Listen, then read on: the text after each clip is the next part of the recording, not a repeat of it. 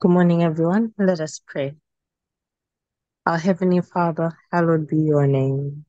Father, may you be praised and may you be glorified through us, for Lord, you are the Most High God. And Father, we just like to thank you for all that you do for us. Father, we thank you for life and we thank you for your many blessings that you bestow upon us.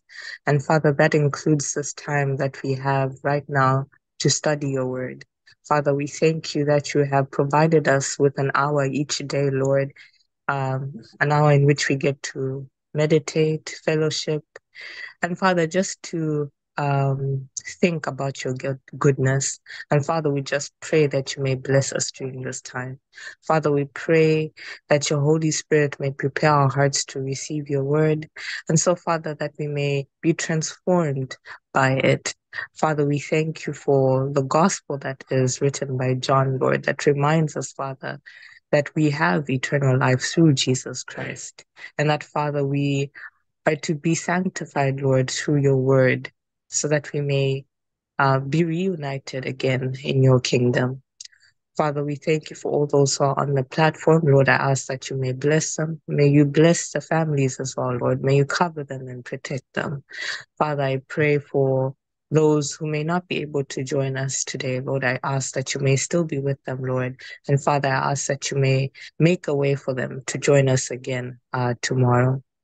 Father, I pray for Brother Hugh, Lord. We thank you for all that you do through him and for him. And Lord, we just ask that you may equip him with the power of the Holy Spirit, Lord. May you give him wisdom. Father, may you give him strength so that he may lead the study. Father, again, we just like to thank you for this time that we have. And Lord, we ask that it may be a blessing uh, to us. We pray all this in the gracious name of Jesus Christ. Amen. Amen, amen. Sister Chifu, thank you very much for uh, opening our study today with prayer, as we normally do and as you do so often. We thank you for that. Yes, again, I welcome everyone to the Open Arms Seventh day Baptist Church Daily Bible Study. And we are in the Gospel of John at chapter 14. We're at verse 21 this morning. Jesus is in the middle of these. uh, upper room discourse or his farewell address. He will be leaving them shortly as a terrible ordeal that he will undergo in a matter of hours. He'll be arrested, crucified, abused, uh, and then he'll be resurrected and he will ascend back to his Father.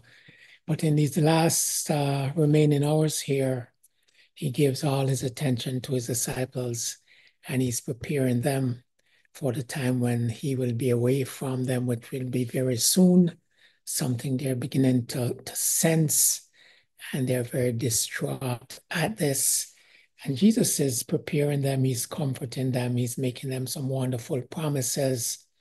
And by the time we get to chapter 17, we will see that many of these promises, or most of them, if not all, that were made to the disciples on this particular night also applies to us. So these are our promises here that we'll be reading about and studying shortly. well, during his address, uh, he's been, um, I say, interrupted a couple of times with questions, maybe three times already. And when we come to, when we begin our study this morning at verse 21, there will be another another another question for him in the next verse. We'll be looking at that. So Jesus is just speaking to the 11 true disciples. He calls them little children. He says, You are clean. And they're the ones who are to hear these instructions. And as I mentioned, uh, they also apply to us.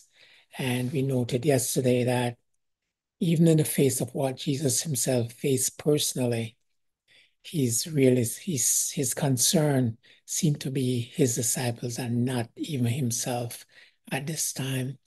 But such was his love for us, which is really going to reach its pinnacle when he dies in our place on the cross. And when he dies for these disciples who he was addressing, and maybe sadly, maybe not so, given that they were just mere men, they still have visions of the kingdom in their heads and they're not quite accepting what is the reality of the situation here that Jesus is actually about to leave them.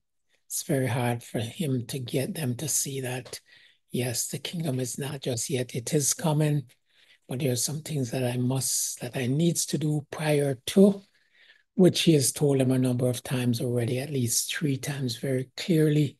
We read those in the Gospels. He will be arrested by the Jews. He will be handed, handed over to the Gentiles. He will be abused. He will be crucified. He'll rise again the third day. He will come to them. He will ascend to his Father from whence he had come in, in the first place. But all of that seemed to have gone over their heads. Nonetheless, Jesus is very patient here with them as he seeks to console, comfort, encourage, and prepare them for what's just around the corner. All right, Brother Devante will be reading for us today, and he will be reading uh, John 14, verse 21 to 31. but then any questions, any thoughts, any comments, maybe from yesterday or even before, uh, before we get into our study this morning? Okay, if you're able, please follow along as Brother Devante reads, and he will be reading John 14, verse 21 to 31. Brother Devante. Good morning, everyone. I'll be reading from the NIV. Verse 21 Whoever has my commands and keeps them is the one who loves me. The one who loves me will be loved by my Father, and I too will love them and show myself to them. Then Judas, not Judas Iscariot, said, But Lord, why do you intend to show yourself to us and not to the world? Jesus replied, Anyone who loves me will obey my teaching. My Father will love them, and we will come to them and make our home with them. Anyone who does not love me will not obey my teaching. These words you hear are not my own. They belong to the Father who sent me. All this I have spoken while still with you, but the advocate the advocate, the Holy Spirit, whom the Father will send in my name, will teach you all things and will remind you of everything I have said to you. Peace I leave with you, my peace I give you. I do not give to you as the world gives. Do not let your hearts be troubled, and do not be afraid. You heard me say, I am going away and I am coming back to you. If you love if you loved me, you would be glad that I am going to the Father, for the Father is greater than I. I have told you now before it happens, so that when it does happen, you will believe. I will not say much more to you, for the prince of this world is coming. He has no hold over me. Verse 31. But he comes so that the world may learn that I love the Father and do exactly what my Father has commanded me. Come now, let us leave. Amen. Amen. Amen, Brother Devante. Thank you very much for reading for us this morning. So that is the text that is before us. And I didn't mention this in the in my opening remarks, but Jesus also promised to send them another helper, a helper like himself, which in our text he's going to identify as the Holy Spirit. He's going to be with them forever. Uh, he is uh, they are to be particularly comforted by this love that He has for them. And so are we, particularly in our trials. We need to keep in mind that Jesus Christ loved us and without a doubt, beyond a doubt, and that we're going to read about or we know about in his crucifixion, which was the, the act that demonstrated his love for us, God's love for us, among other things. So Brother Devante just read us our passage there from verse 21 to 31. We did discuss verse 21 yesterday. So starting with verse 22 here, we read, Judas, not Iscariot. Uh, John, make sure we understand that. This is not the betrayal he's talking about here. He has already left the room. This Judas is the son of James. So read that in Luke 6, verse 16. So Judas said to him, Lord, what has happened that you're going to reveal yourself to us and not to the world? And here, this Judas is referring back to verse 19 and 21, where Jesus said he's going to come to them and he'll reveal himself to them, but not to the world. And what puzzles Judas here, and maybe all of them, as a matter of fact, is uh, okay, so if the kingdom is coming and you're going to establish the kingdom. How is it that the world is not going to be, they're not going to see you. How, how can that be?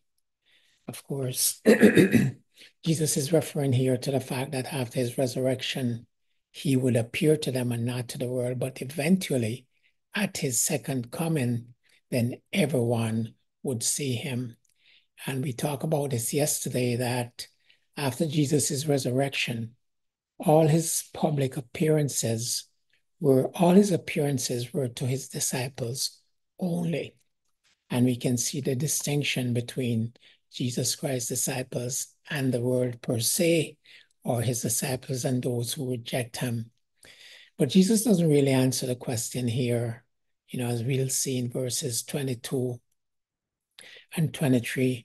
As a matter of fact, they had asked him a similar question some time back in Matthew. In Matthew 13, Jesus was telling a series of parables with no explanation. And the crowds, by and large, didn't quite understand the message in these miracles. But later on, Jesus did explain the miracles to his disciples. and they sort of wondered about that. So I'm just going to read this, these, uh, these verses here from Matthew 13 and to show that Jesus always makes a distinction. Even though he loves everyone, God has a general love for all people. He has a particular love for his own, those for whom he died. In Matthew 13, 10, Matthew 13, verses 10 and 11, after a series of parables, and people's head or people wondering, what does all this mean? Later on, he's explaining to the disciples, and they had this question for him. And the disciples came and said to him, Why speak thou unto them in parables? He answered and said to them, Because it is given unto you to know the mysteries of the kingdom of heaven, but to them it is not given. So this is sort of a similar question here that Judas asked.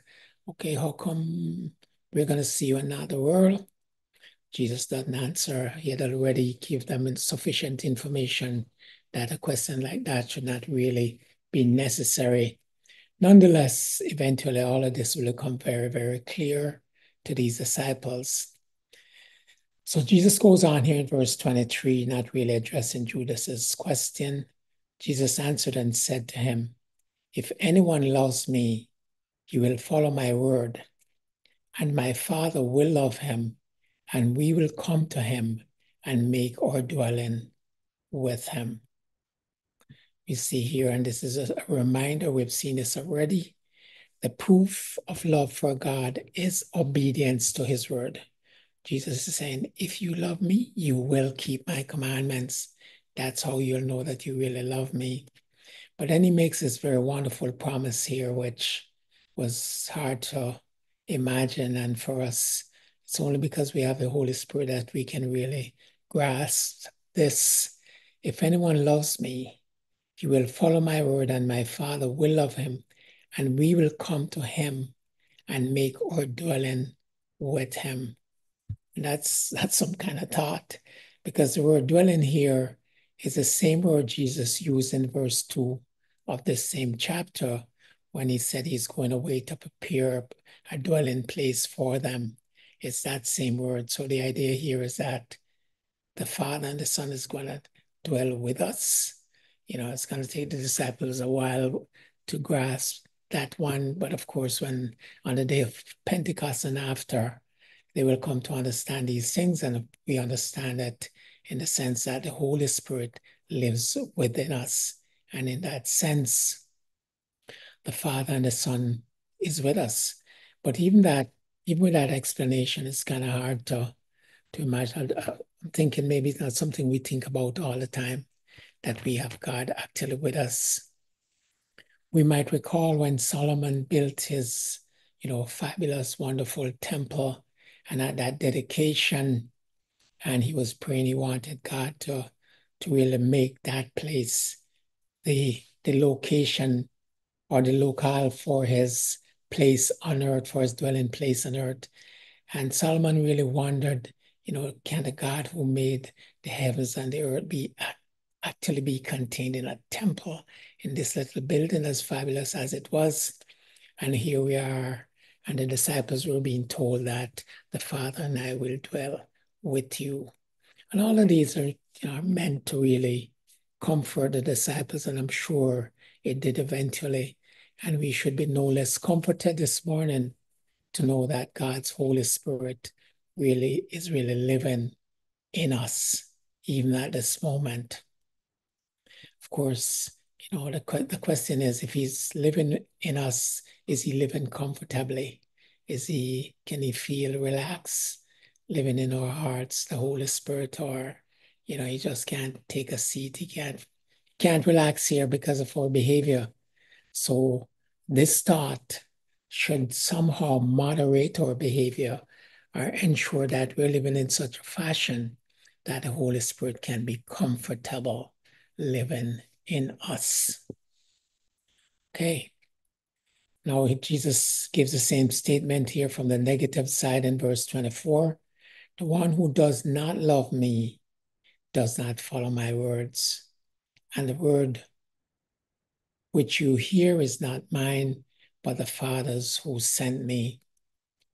Again, it is very important that the disciples come to understand the unity, the oneness, the union between Jesus and the Father, because they had no problems with knowing who God the Father was and believing Him and accepting His promises and His faithfulness and His ability to fulfill any promise He made.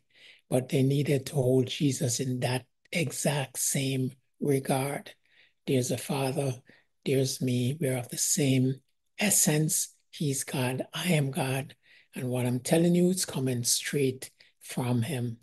Very important. I was really a big issue with Jesus Christ to get this across to his disciples because, yes, you're the Son of God, but are you God?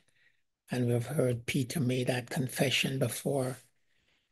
And of course, even to our day, there are those who will say, oh, he's not really God. He was this, he was that, and the other, but he's not God. But Jesus is making sure his disciples understand that he is God as well. Any thought, any comment, any questions here? All right, Jesus goes on in verse 25. These things I have spoken to you while remaining with you. And Brother Hugh? Yes, Sir Karen.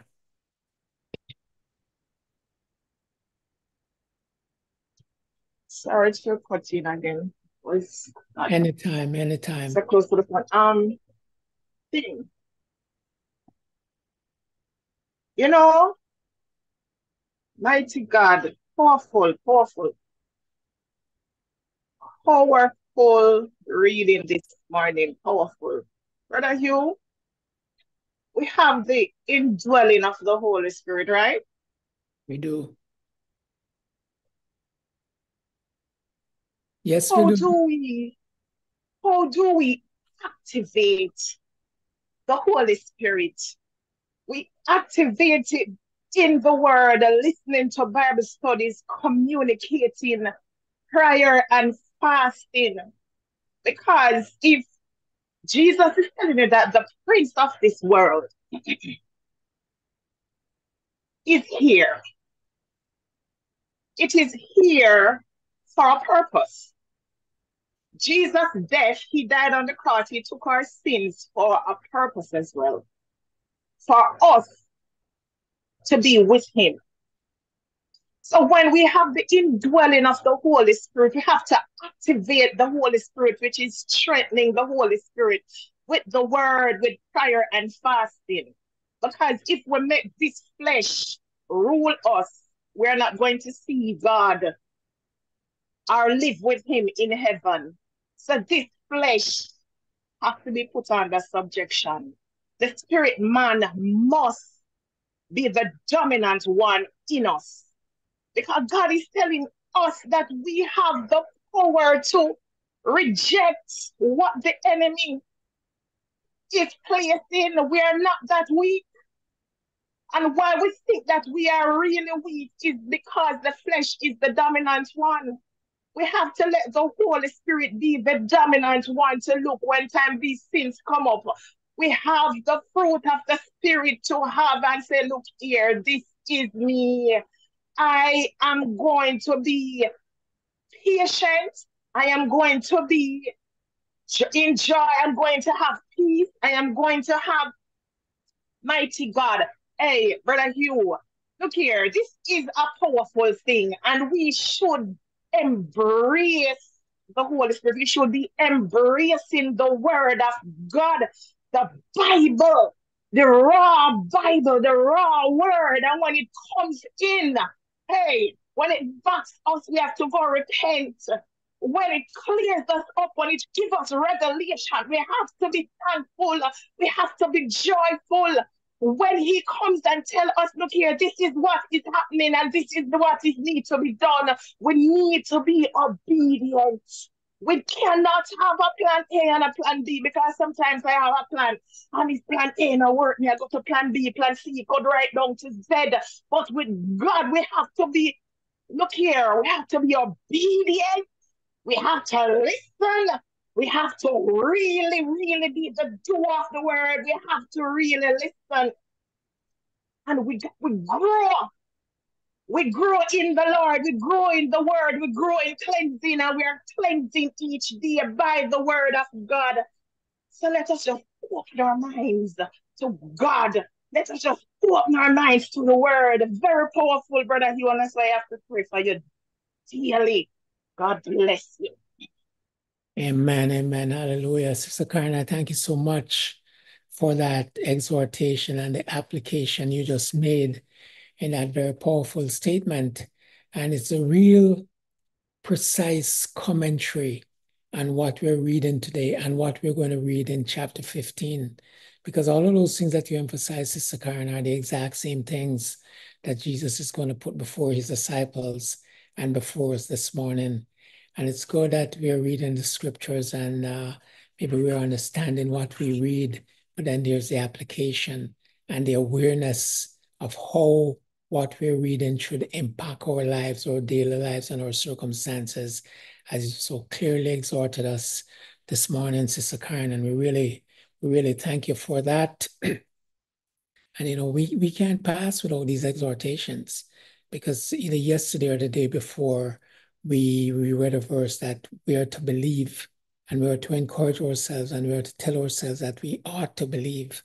And this morning, the fact that the Holy Spirit is living in us must have some kind of impact. He is real, He's here, and it is to be manifest in our decisions, in our mindset, the way we respond to circumstances, as Sister Karen so emphatically and clearly put it to us this morning. Sister Karen, I thank you for that. Any other thought, comment, or questions? Good morning, Brother Hugh. Good morning, Sister Lorraine. Good morning to the rest on the platform. Brother Hugh, if we are reading the word and living by the word, and the Holy Spirit dwell within us, certain things we're not going to do because there will be a conviction on us, right? The, the devil going to tell us you to go lost after the spirit. Take this man money you're working with the person you want to steal, you want this. There is a conviction that come up on us. If you're really living by the word, it not easy sometimes, you know, because sometimes it is weak. The flesh is weak sometimes, but you have the Lord within you, and you ask Him to live within you and show His light to you, you will try in every way to do the right things and don't lust after the flesh and don't lust after people things and don't have grudgeful in your heart in your mind because those things are ugly. God don't love those things right? So we just have to live by the word and live by the holy spirit through jesus christ our lord. Amen. That's my few word brother Hugh Sister I thank you for that exhortation. And as I consider what you just said, Sister Lurleen, and the rest of us should be doing likewise and listen to Sister Karen's uh, exhortation as well. I can't help but feel that this morning on the platform right now, maybe many of us, we're hearing the word, we're understanding the word, but we're not really adjusting to the word. Hence, the Holy Spirit is bringing these exhortations here to really put the things we're learning into practice. If we've been falling for the same thing over and over, or we've been ignoring the conscience or the voice of the Holy Spirit, this is a day when these messages are coming very clearly to us. And in these two comments we have heard, we're being exhorted to let the word act, to respond to the Holy Spirit promptings as we go through this word and as it registers in our minds. You know, we have to make some changes. I think these exhortations is pointing to that very situation in our lives this morning. Sister Lurleen, I thank you for that. and there's a hand raised. Yes, Brother Hugh, Sister Phoebe. You know, I just really want to um, appreciate the comments that we hear daily because they're just not comments, they're correction, they're instruction, they are um, encouragement. And um, I appreciate these daily Bible studies because you, I, for example, I'm I'm in a situation where my flesh wants me to respond one way, but I'm reminded by hearing the word of God that that is not what God wants me to do, and I must be obedient. Must be obedient to the word of God, and in everything live by God's will and to when and when I live in his will, I will give bring glory to him. But if I act in the flesh, I'm going to do the total opposite. And so I appreciate the comments from Sister Karen and Sister Lurley.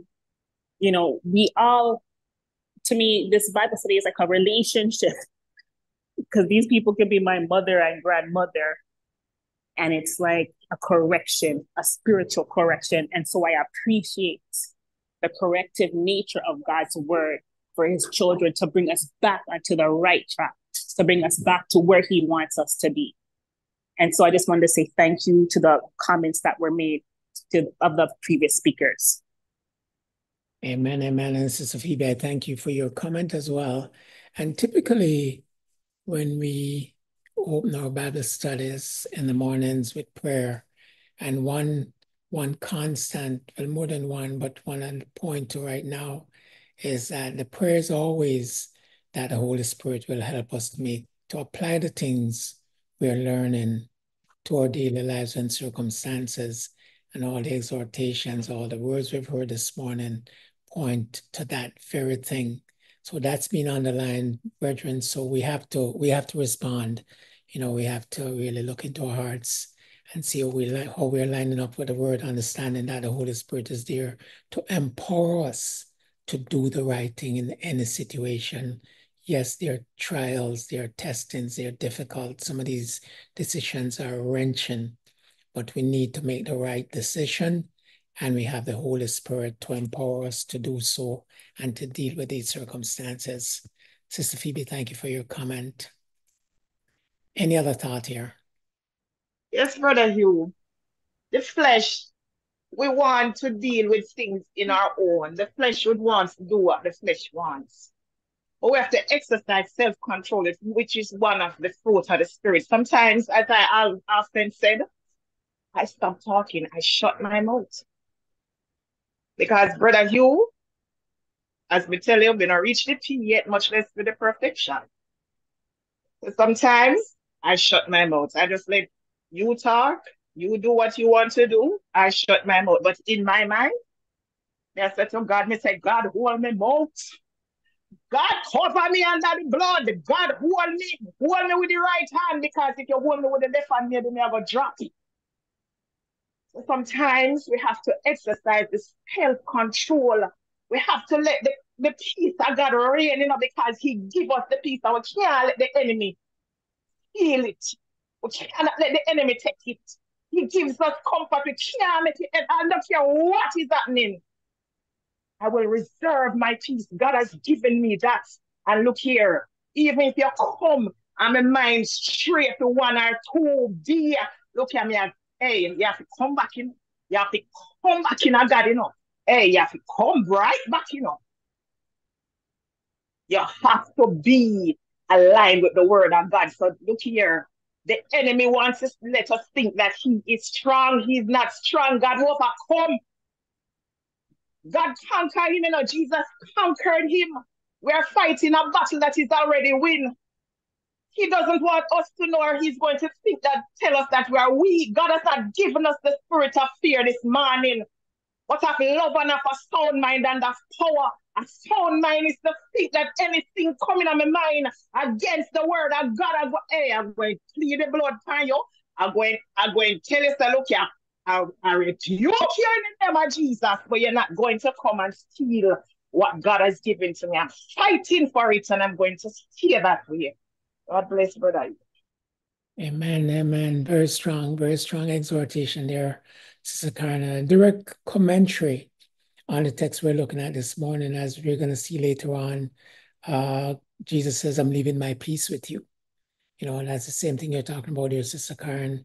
And if we get to chapter 15, there's going to be a very strong message about abiding in Christ, staying with Him so we can bear the fruits of righteousness. And of course, as you mentioned earlier, we have the Holy Spirit to empower us to do so. So the word this morning that's coming out, all of these comments is application. Yes, okay, so I'm understanding this now. So that is what that meant. All well and good. We want to understand, but we want to apply the things we're learning to our circumstances. And we're hearing some very strong and definite exhortations to that end this morning. Sister Karen, thank you again for your comment. right. Any any any other thought or comment? We like this. I really like the, the mood here. Okay, verses 25 and 26. And keep in mind as well that Jesus is really, he's, he's both encouraging his disciples and he's preparing them because they don't know what's coming. He do, he knows what's coming to them and they needs to be strengthened. And afterwards, they're going to have a big task ahead of them. Jesus wants them to know that they have been prepared. When the Holy Spirit comes, he will empower them as we are to be empowered this morning to be obedient. Let the Holy Spirit be comfortable in our hearts. You know, we have to deal with that sin thing. We don't have to be victims. Verses 25 and 26. These things I have spoken to you while remaining with you, but the Helper, the Holy Spirit, whom the Father will send in my name, he will teach you all things and remind you of all that I had that I, I said to you. So we can see, well, we know this, of course, but even just looking at the disciples in their situation right there and then, even though Jesus had emphatically told them about what would happen to him in Jerusalem, they didn't remember any of this, it seems. Just totally taken up with the kingdom and what it promised for them and their position and the prestige and all of that. The other things that Jesus said to them, totally gone. However, when the Holy Spirit, the helper we talked about yesterday, when he comes in the name of Jesus Christ, of course, he comes, he's going to be pointing people to Jesus. He will teach you all things and remind you of all that I have said to you. It's a very important uh, verse we're looking at here because ultimately these disciples, these 11, along with Paul and some others, they're the ones who will be writing down the teachings of Jesus Christ. These are fallible men who are going to be recording God's word. And we have those words today because of the work of the Holy Spirit in the hearts of these men. Jesus has been teaching them for three years. And even something that he said to them just maybe a couple of months ago, maybe even re- weeks, they've already forgotten. But when the Holy Spirit is when Holy Spirit comes, He's going to remind them of all of Jesus's teachings. He's going to super, superintend them in the recording of those things. And that is what we're reading here this morning. What John recorded and what he selected to record, that was under the guidance of the Holy Spirit. So, yes, the Holy Spirit has that task to perform, and which he did, from which we benefit this very morning but there are also responsibilities that comes with this knowledge and this revelation that we're receiving. And we've heard some exhortation as how to, we are to respond to that. But the Holy Spirit is our teacher among other things, he called the helper, the comforter, one who encourages, but he's also the teacher. He's a teacher in the church. And he's the one who is to be speaking, like when we pray for our Bible studies, every voice that is heard, we want that voice to be the voice of the Holy Spirit. And I think that's what we're hearing this morning as well. Uh, John talks about this a little further in his first epistle in John 2, verse 27. I'll just read that here. And as for you, the anointing which you receive from him remains in you, and you have no need for anyone to teach you, but as his anointing teaches you about all things, and is true and is not a lie, and just as it has taught you, you remain in him. And we recall when Jesus first promised the Holy Spirit, one thing he told him was, He will remain with you forever. He will always be with you. I am leaving you now. You're worried about that. You're concerned. Well, when the Holy Spirit comes, each person is going to have the Holy Spirit with them forever. We got some warnings here this morning from Sister Karen, Sister Phoebe, and Sister Lurleen. We also read that, you know, we can we can sort of quiet the voice of the Holy Spirit. You know, I can't remember the exact term that is used here, but we're not to do that. The Bible says, you know, do not uh, sort of turn down the Holy Spirit, damn his message, uh, rationalize around the things that we are being told in our hearts. And when we read the scriptures and when the applications are made, we are to respond to them this morning. Okay verse 27, Jesus says, uh, Peace I leave with you, my peace I give you. Not as the world, not as the world gives, do I give to you. Do not let your hearts be troubled, nor fearful. Yes, the word was do not quench the Holy Spirit. Thank you for that. Not sure who posted that, but that's what we're told. Do not quench the Holy Spirit you know, when you quench a fire, you put the fire out, you pour water on it. And the danger is the more we resist the Holy Spirit, is this quieter and quieter his voice becomes till eventually we are not even hearing his voice anymore. So that's a warning there for us. So Jesus tells his disciples, Peace I leave with you. And if we consider, you know, a statement like that, who could make such a statement? I'm leaving my peace with you. So very often when we see the word peace, and as it is generally understood by us, it means the absence of hostility. You know, we're at peace, we're not at war anymore. But when when the Jews use this term, it means something much more than just the absence of hostility. It was a blessing of well-being. The idea was all that is good, I wish for you. Everything, every aspect of your life the best. This is what this peace means. It's not just, okay, so you're not at war anymore. And of course, God is leaving you his peace, right? Jesus himself is called the Prince of Peace. That's what Isaiah calls him. Peace also is a fruit of the Spirit. When we read that list in Galatians 5, verse 22, I'll just remind us right here. But the fruit of the Spirit is love, joy, peace, patience, kindness, goodness, faithfulness, and on. So it's one of the gifts of the Holy Spirit. And Jesus is saying, I'm leaving my peace with you. And when we have the peace of God, when we are at peace with God, then God's peace abides with us. And through Jesus Christ and what he has done for us, we are at peace with him. Back in chapter 3, verse 18, we read that those who reject Jesus Christ are already under God's condemnation. You know, so it's not any kind of neutral position that one is deciding on, uh, should I accept Jesus Christ or not? No, you have already rejected him if that's your condition and you're under his condemnation. But for his disciples, we have his peace. Because of what Jesus Christ has done, we have peace with God. And he, tell, he told his disciples, I'm leaving this with you. And we can think of Peter in a matter of hours, you know, after he says, I will, I will die, I will give up my life for you, I will die for you. Uh, what two hours later, he's denying Jesus. He's saying, I don't know him. And the man is cursing. But after the Holy Spirit comes, and this is in Acts chapter 12, James has been already martyred for the cause. Peter is arrested, he's in jail, and he's to be executed the next day. He is sleeping. The man is at peace. The angel comes to rescue Peter, and he has to sort of bang him in the rib to wake him up. That's the peace that God left with his disciples. That is the peace that we have because of what Jesus Christ has done for us. And these disciples, later on, when they reflect on the things that Jesus said to them and they saw how things unfolded just as he said, you can imagine how, you know, that's the boost that would give to their courage and their commitment to him. We have all of that history, all that has been played out before us. We have the record we're reading this very morning.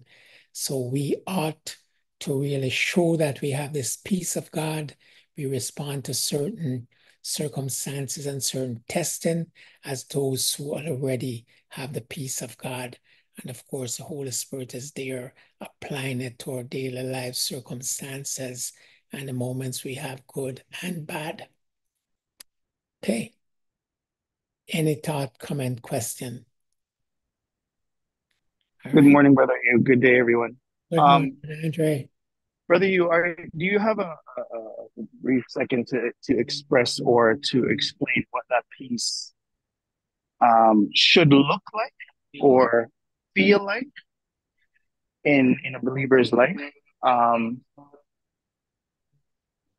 and I have another question after that, if you don't mind, please. Okay, so we heard about Andre's question. You know, what can can we get an example of what that peace should look like. You know, um, what does it look like in reality? This peace that we have with God, and I'm I'm, putting that out there on the, on the platform. You know, what, what experiences have you had? Just give us one where it was really the peace of God that came over you in a moment where you would normally. I think we heard one this morning uh, from Sister Phoebe. Uh, we're not sure what the circumstance was, but she was going to respond in a certain way, maybe in anger, maybe in retaliation. But because the Holy Spirit is with her and because she had the peace of God, she didn't think it was necessary to really respond in her natural way. And I'm sure, Brother Andre, you yourself have experienced this where you have faced a situation, you're going to do something, or maybe you're saying, if it was one time, this is what I would have done. I heard a recent. Yes. Yes, Brother Hugh, but that could also be considered to be wisdom of God. I would have answered that way, but the wisdom of God tells me not to. So I'm trying to differentiate the difference between the peace of God and the wisdom of God. Yeah, well, I, I, but, but Andrew, I don't know that we can totally separate those two, you know, because it's really a package we get when the Holy Spirit comes, and there are different uh, there is overlap between the wisdom of God and the peace of God because the wisdom of God will also give you peace. But that would be a typical situation, Brother Andre, and you might call it the wisdom of God. And yes, it is the wisdom of God, but the wisdom of God also, you know, enhances the peace of God which you have. And very often, the, the way the peace of God is manifested is the prospect something is coming which is very unpleasant, but you're not going to panic you're not going to run, for the red button here. And what, what am I going to what am I going to do? What am I going to do? You know that God is with you, and you know one way or the other, it was going to work out in the end, and you will manage. You know, you will go through it. It's not that you're not going to suffer or be tested or what have you, but because God is with you, it gives you that peace. I mean, for my one one occasion I can remember is receiving a layoff notice and this was almost on Christmas Eve. I got a letter, I got a phone call actually from my manager because it was a time when the employer was laying off uh, employees wholesale. And that was what the man told me. And for some reason, I was just totally calm. I couldn't even figure it out. I just kind of hung up the phone. I was lying down in bed and went back to sleep. And that really struck me as really being the peace of God. And as it turned out, I didn't even lose my job anyway. You know, the next, I just went to work after the Christmas holidays and New Year holidays, and everything just went, just kept going. So that would be the peace of God where I didn't actually, I didn't even reason anything out. He just told me that, which at Christmas Eve, you're getting this news that should have been panic. And I was totally calm. I couldn't explain it. I was even surprised at myself. But to me, that's an example of having the peace of God where the storms are coming and it's panic time. We can think of Jesus in that boat when he was crossing the Sea of Galilee with his disciples, and the storm came up, and the boat was about to be overwashed. And they woke him, and he quieted the storm. And yes, they saw the peace of God. He was asleep in the storm, and afterwards they learned that we can actually sleep in the storm because God is with us. And I'm sure this is manifested in all kinds of different ways in our various lives and, and circumstances, Brother Andre. But I think it's along those lines. That's what the peace of God looks like. Okay, so so not to take up too much time. So in in a in a in a regular person's mind, they might just say that they call that in a state of shock. So therefore, your body is shocked, so it doesn't react, right? So you went back to sleep because hey, like the news hit you so hard. I'm, I'm like, what are you gonna do? Like, go back to sleep, and and and you know that's just one example in a regular person's mind. Now I'm going to throw another wrench into this because I'm trying to get this fully understood. Sorry to interrupt you, but I didn't look at that as I was not in a state of shock. I actually know what shock is.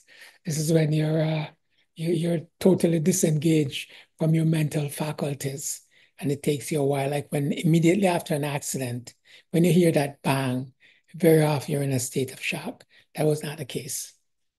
But go no, on. no, no, I understand. I'm just saying that's how a, a regular person looking on would say that's what you were in in a, in a state of shock so we responded that way so here's a here's the wrench for me you have a teenager in your home they're living in your home and uh, in jamaica you know old time parents would say you don't care you don't care about anything and you know you have some people in life that for them it's like is that how like it's not that they don't care they just figure everything's going to be okay and is that how believers like you're working with people and and they just seem like doesn't matter what it is, nothing bothers them. They're just like, it's not my stuff. It's not gonna be, it's not gonna be any concern to me. Is that how believers should act in the sense? Is it borderline? I'm trying to understand, like, you know, when when should you not be troubled by anything? Even when you know that you have the ability to adjust or to you can make a difference, but you can just be like, you know what, the Lord's gonna take care of it anyway. So just just leave it alone. Nothing should bother me. I'm just trying to understand and navigate that area of the peace, the wisdom, and the understanding. Because we see regular people being concerned about things or not being concerned about anything. And then a believer should act in, this, in the sense of where they, they have such peace of God where they don't they're not troubled by it. Right? When when when we talk about the peace, that's that's how I envision it. We shouldn't be you you will just go through something and not really realize that you you went through it. So I'm trying to just navigate that area right there uh, for a better understanding. Okay, Andre, really thank you for that explanation there and you know really clarifying your question because it's really a state of mind we're talking about here. Plus, on top of the fact that we have the peace of God, the Bible also shows that we're to do all that is in our power to do in the meantime. So, for example, Abraham sent his servant to find a wife, a bride for his son. And he comes to the place he was directed to and he goes to the well which is where the, the women come you know in the evening to, to draw water. And he comes and uh, he's trying to decide so which one of these women will it be? And he prays. And he sets up a little test you know for god god if this is one let her do x y z uh, so what i'm saying brother andre even though god is with you the things that you should do that you normally do that are correct and right, you do those things. Um, the Egyptian children, the male children, were being killed in Egypt, and Moses, his mother and dad, when he was born, they decided, no, we're not gonna just uh, let give our boy to be killed. They make a little little raft, a little um, uh, a basket which they took and they put tar in it. They made it waterproof. They hid it in the reeds and they're watching. So what I'm saying is the people of God, we don't just sit back, oh, yeah, I have the peace of God, it's all good, it's going to work out. No, we're to do all the things that we should be doing that God would have us do in that situation. But in the back of our minds, we know that God is with us. I just need to do the normal, correct, proper, and right things and leave the rest to God. You know, Paul was on his missionary journey. He wanted to head north. The Holy Spirit blocked him. He didn't get an explanation. He, he knew that he's supposed to evangelize. This is okay. And the Holy Spirit is blocking me from going north. I'm going to go east. So he tried to go east. So what I'm saying here about Andrew, we do not sit back and say, I have the peace of God. God is with me. I don't need to do anything. We do all that is right, proper, and correct for a Christian to do in those situations. But in our minds, we know whichever way it turns out, God is still with us. Okay, sir. Thank you for the explanation. I'm just happy that we're able to discuss stuff like this because now that we have clarified all that, it brings me directly into where we get into the most um, difficult times. So now that we know this, sometimes we're as believers we get anyways i'm going to speak for myself we get into the the the, the part that causes us to to to sin and not to sin is where is right here. As a believer you see you you with your with your eyes you're seeing where the the wrong is. You're seeing where the mistake is. And by trying to help or by trying to to navigate that situation you can sometimes end up sinning. Because it's when it's knowing when to leave something alone and when to, get involved, get or, or or or be in the midst of it. Because sometimes you end up sitting when you're trying to help, and people, human beings, cause you to sin because you're trying to help them or you're trying to prevent something. And this is where a lot of sinning comes in. Sorry, um, brother, Hugh can I can I make a comment, please? Certainly, Pastor. And Brother uh, thank you. Go ahead, Pastor. Yeah, I think I I really think it's incredible how um, we are able to navigate um, these situations and and and sort of look at it through um, a realistic, practical way, uh, as uh, Brother Andre is is um trying to share. And I and I think, Brother Hugh, I, I don't really I know the Holy Spirit must be using you because um to be able to respond in real time to these very difficult questions and scenarios is, is really important. Um, and I think when when you're studying the word, um, it's important to recognize, as you've been teaching, and as we all know, that the, the things of God are spiritual. And it's hard to mesh the spiritual with the physical um, because you can't always explain the spiritual experience, particularly around peace.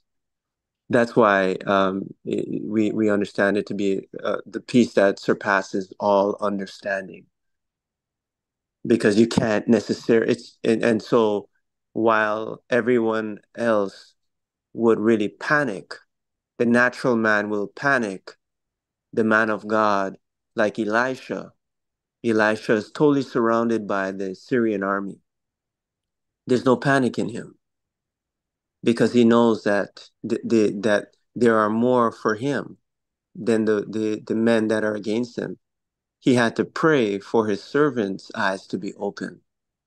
So sometimes the task is not really explaining the peace, but but praying that God will open the eyes of those who don't experience it. I think that's sometimes our challenge because we can't always explain the the the the, the, the things.